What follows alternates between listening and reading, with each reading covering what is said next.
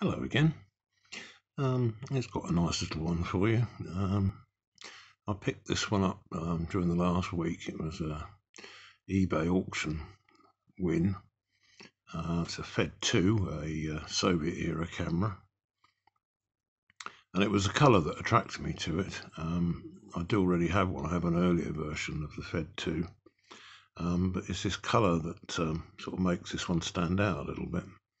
Um, it's not a standard colour, somebody's painted it, although well, I think it looks quite smart. Very cheap. Um, I think it was below £20, which is about, what, $30, $35. It's a rangefinder camera, 35mm rangefinder. Like I say, built in the uh, in the Soviet era. It's a descendant or a very close copy to the, the Leica 2. This is the film advance on this side.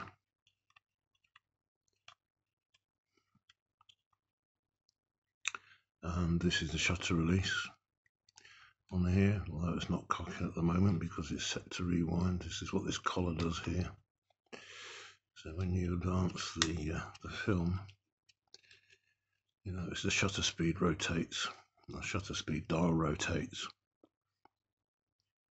and then you can fire the shutter here. It's not amazingly quiet. It's not as quiet as a leaf shutter. You can see it's a focal plane shutter in it.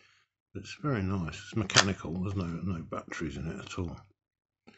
Um, but it's quite a nice little thing, so I thought I'd pick another one of these up. I say this is a later version than the one I've already got. This one has the uh, the self timer on it, so you can uh, wind your film on, set the self timer. There's a little arrow there, so you can put the self timer around push the button. You can hear the mechanical, it's quite loud.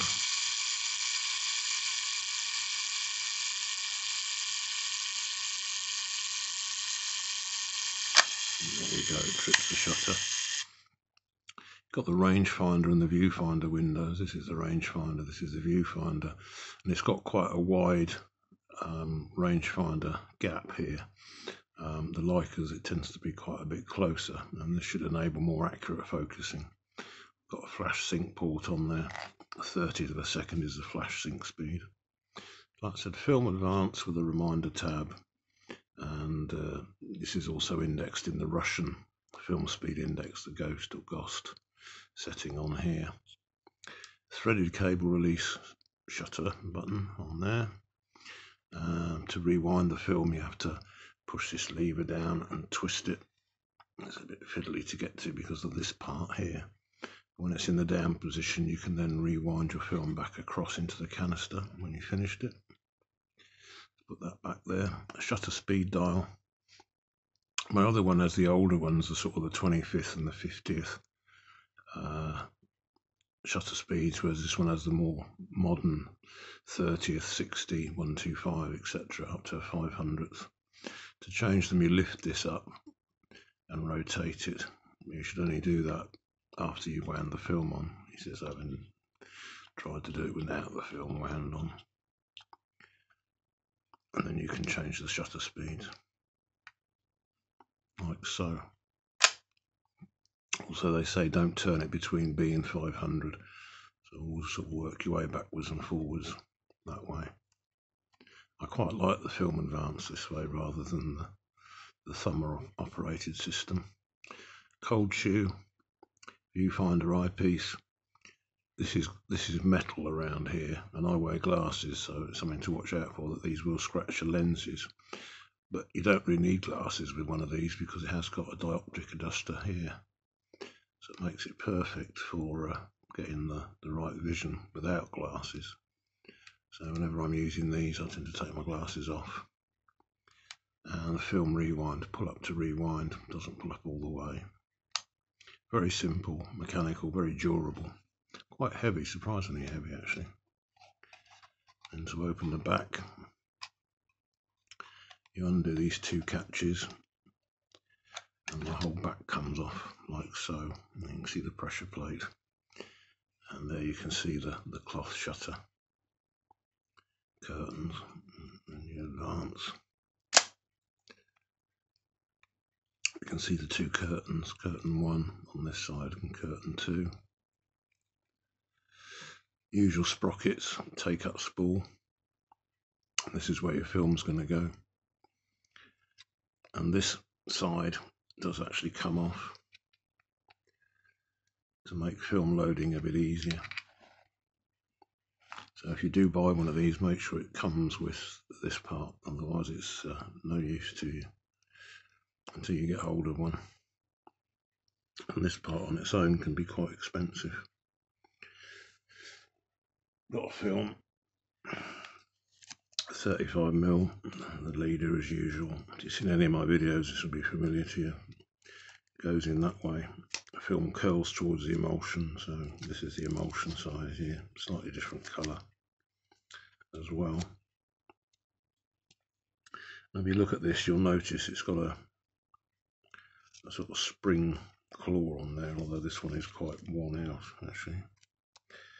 And there's also a little hook on there that you'll notice.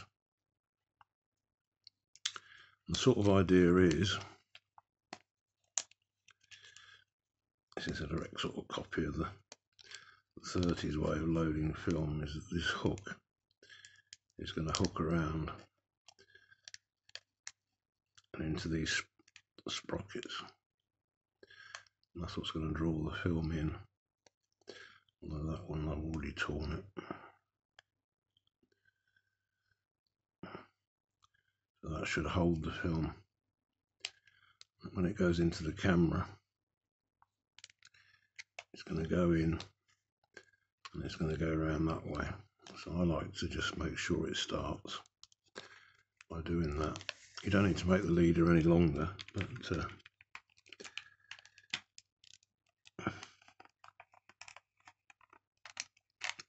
and this just pushes up onto this shaft here. It just slides up on in there. Make sure you've got the sprocket holes aligned and then just take up the slack. Now you can just put the back on. Interesting thing with these is there's no foams to go rotten in them. It's like a baffle system for the light sealing. So they are very well designed. The cameras the back just slides on. Push the two catches together like so.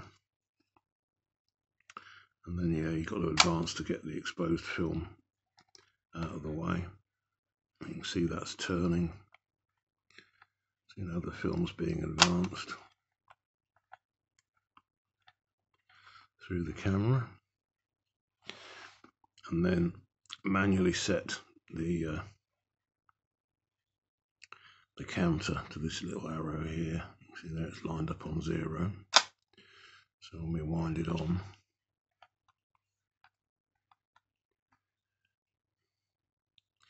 It's now moved to the number one. It's very simple. Obviously, it needs a lens. This is an M39 um, screw thread. It's like the Leica screw thread, uh, like a thread mount. So yeah, there's there's no aperture pins because the aperture on these is uh,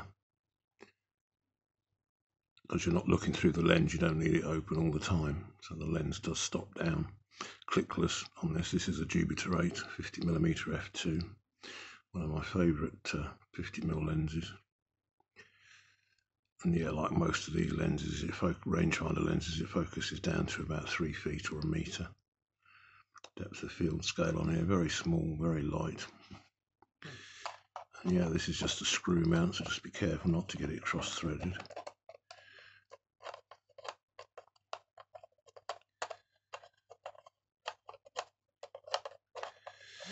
says if we can get it on there at all. It's because I'm looking at the camera screen rather than the camera itself.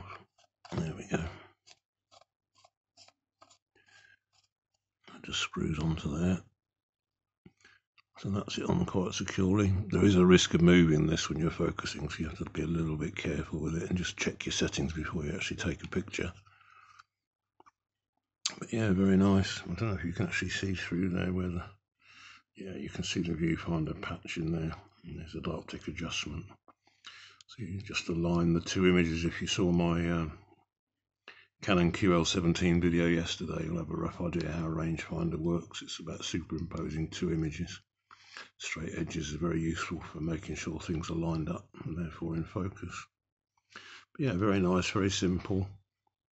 I couldn't resist it. It was a colour that sort of made me say, oh, I want that. Even though I've already got one, but like I say, mine is an older one than this. It doesn't have the uh, the self timer. Has the different speeds on it, and I also think that the uh, the cold shoe is mounted a bit lower. This is this is more level down here, so there are different revisions of these. So yeah, this is a later camera. I just like the colour of it. It appeals to me. And for less than the price of a roll of film in developing, um, I think it was a good buy. So there you go, folks.